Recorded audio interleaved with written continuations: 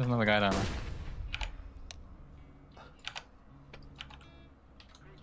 Drop a nade on him. Throwing. Wait, yeah. Chuck a smoke.